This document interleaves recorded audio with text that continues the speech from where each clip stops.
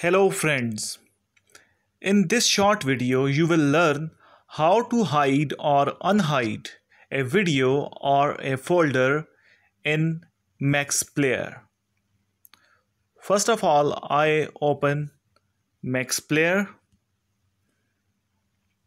Here you can see there are several folders in front of me.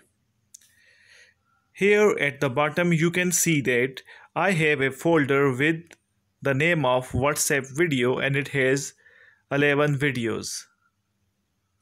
I long tap on it.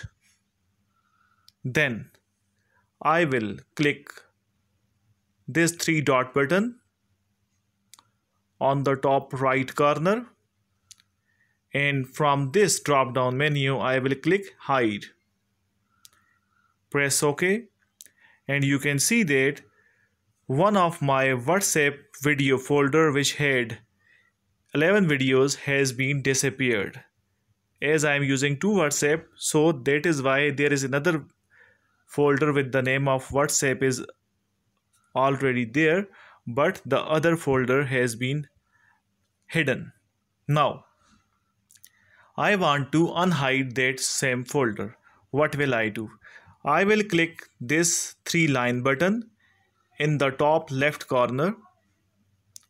Then I will click local player setting. Then I will click list at the top of the this menu. And from here I will click folders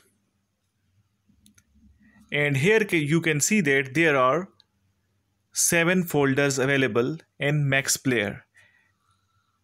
And one is having a line over it. It means that it is a hidden folder. I will check it. And there will be three options available when you check it. I will click show and then I will go back and you can see that